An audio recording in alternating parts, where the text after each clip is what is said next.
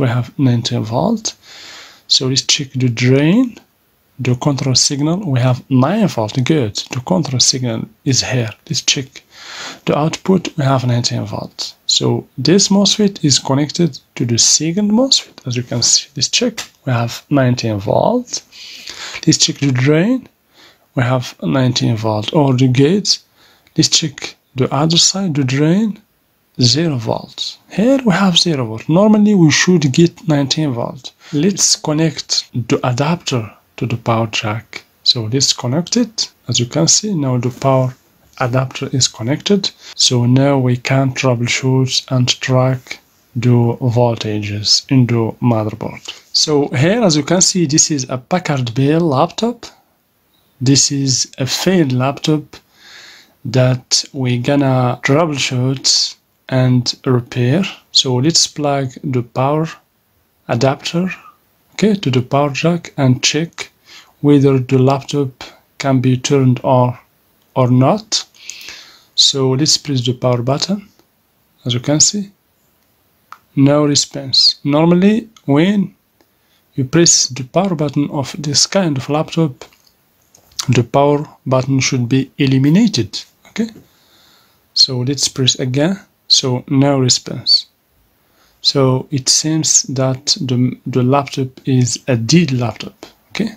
So let's check the power adapter okay? So the power adapter is a 19 volt adapter okay? So let's put as you can see the voltage to 20 volt DC and then check the adapter okay the black probe in the negative terminal and the red probe inside the adapter we have 19 volt as you can see. So the adapter is serviceable is good. Okay because always you should check the adapter. Okay because if the adapter is bad it's normal. The laptop will not turn on so now we're going to disassemble this laptop in order to get to the motherboard because the failed part in the laptop of course is the motherboard. So as you can see the model of the laptop here as you can see we have 19 volts 3.42 amps. This is the input the input okay? And here we have the model of the laptop as you can see we're going to disassemble this door first. This is the ram door or random access memory door. Okay? So let's loose this screw as you can see. So here as you can see we have the rams or random access memory chip. Okay? Here we have two rams. Okay?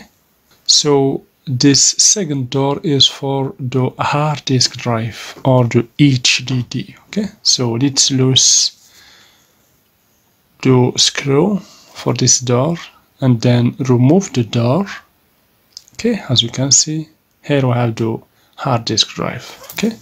So this is the HDD or the storage drive for this laptop okay? So after that we're going to unscrew all these screws around the laptop in order to get in. Okay so let's un unscrew these screws one by one. Okay.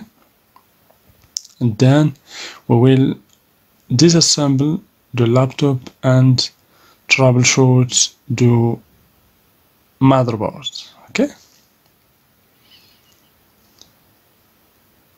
so let's speed up a little bit.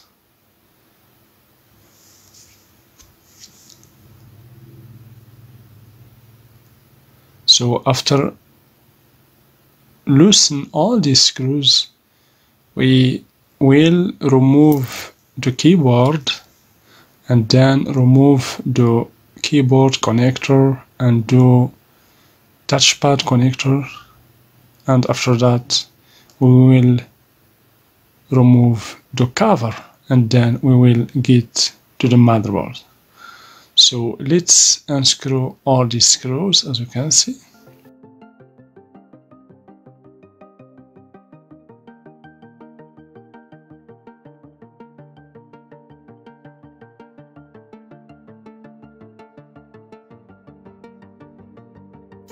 Now as you can see we loosen all screws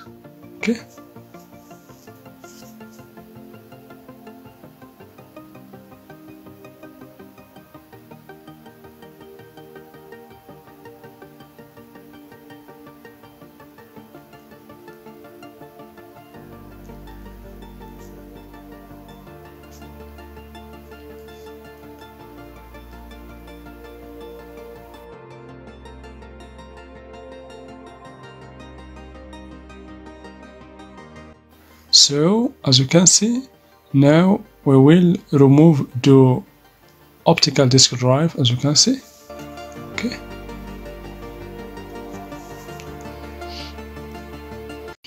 Now let's connect the adapter to the power jack okay. So let's connect it. As you can see now the power adapter is connected. Now the motherboard is powered up so now we can troubleshoot and track the voltages in the motherboard. Of course, we, we will begin with the input. Okay, now here we have the multimeter. We will put the multimeter to 20 volt DC because the adapter generate 19 volts. Always you should choose the higher value in the multimeter but let's remove first these cables for the Wi-Fi. So here we have the multimeter is seated to voltage DC so now as you can see we will check the voltages in the motherboard. Of course we will begin with the power jack connector so let's put the black probe in the ground. As you can see and then check these two red wires. Okay we should find 19 volts. So we have 19 volt as you can see in the multimeter. Okay let's check the second wire. We have also 19 volts. Okay so let's check the other side normally we should check these two coils. As you can see these two SMD coils we have 19 volt as you can see. In the first coil the second coil we have 19 volts so good. Let's check the other sides of coils. So 19 volt 19 volts okay let's check the fuse. This is the fuse 19 volt. The other sides we should find 19 volts here this is the diode double diode. We have 19 volts okay let's check the other side of this diode. We have 19 volts here this is the current sense resistor. We have 19 volts so let's check the second side we have 19 volt. Good. So the current sense resistor is connected to this MOSFET the first MOSFET. We have 19 volt. So let's check the drain the control signal we have 9 volt good. The control signal is here let's check. The output we have 19 volt so this MOSFET is connected to the second MOSFET. As you can see let's check we have 19 volt. Let's check the drain we have 19 volt. Or the gates let's check the other side the drain 0 volts. Here we have 0 volt. Normally we should get 19 volt. The same issue as the first laptop. We should get here normally 19 volts okay so this MOSFET is failed. Why? It can be the failed component because it received the control signal in its gate. But even if it received the control signal we don't get 19 volt in the output. But first let's check the motherboard. The whole motherboard so here as you can see after checking the motherboard I find that this IC is not normal as you can see its pins are are bad are damaged as you can see so let's zoom in a little bit as you can see the pins many pins of this IC, so this is the super IO, are damaged and burned. Some pins are burned. Okay, so here, as you can see, we have the problem because this IC is responsible for the power for the whole motherboard. So let's check, let's zoom in a little bit and check the pins of this IC as you can see.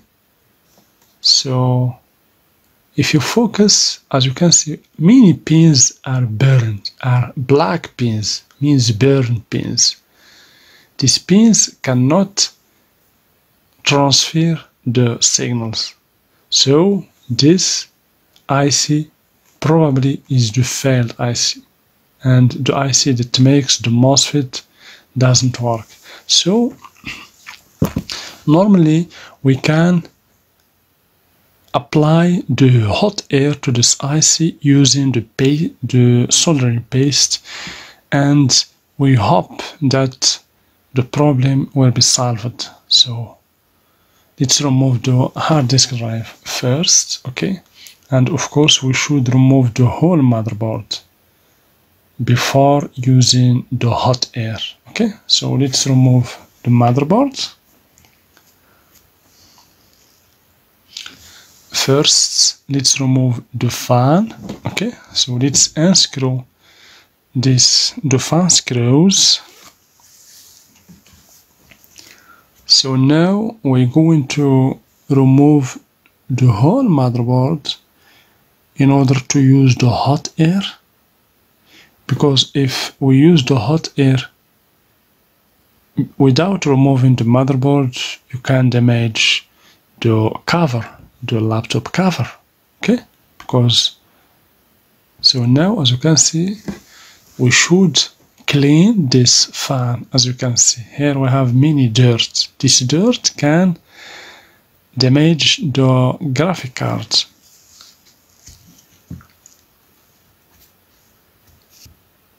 So let's remove these two screws for the VGA connector. Okay, so as you can see, do not forget to remove this kind of screws. So to remove the motherboard, you should first loosen these screws and remove it. Okay, the screws secure the VGA connector. So here as you can see we have another screw. So let's remove or unscrew the screw. Now we can remove the motherboard easily as you can see.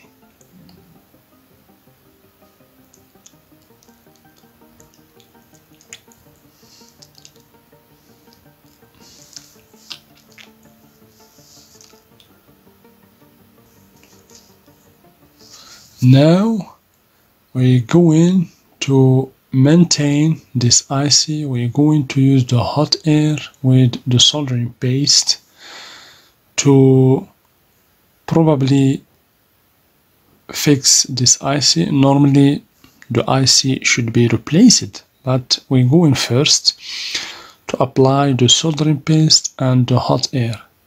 This can fix the issue. Because the problem for this IC is the bad pins. Maybe the pins are not soldered correctly to the motherboard. That's why we're going to use the soldering paste and the hot air in order to be sure that the pins are soldered correctly to the motherboard now as you can see this is the hot air. So always you should use the hot air and move it in a circular movement okay? Do not focus the hot air in just one position because if you do so you can damage the IC. Always move it in a circular movement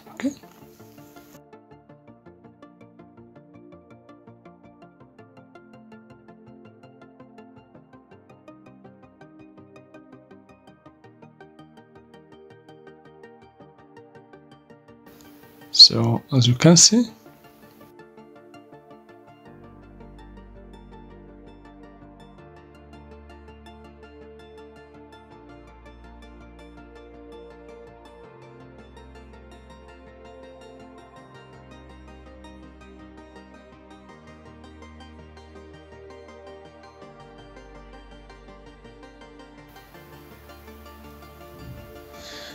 So after applying the hot air to the super IO we're going to choose the continuity in the multimeter and to check the ceramic capacitor or the PF capacitor around this IC so let's check if we find any shorted capacitor means the IC is shorted. So the first capacitor is good.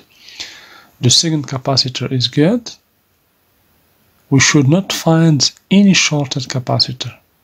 So all capacitors are good are not shorted means the IC is not shorted. Okay?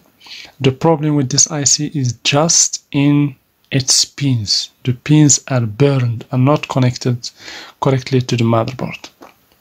After maintaining the IC we should replace and we have to replace this MOSFET okay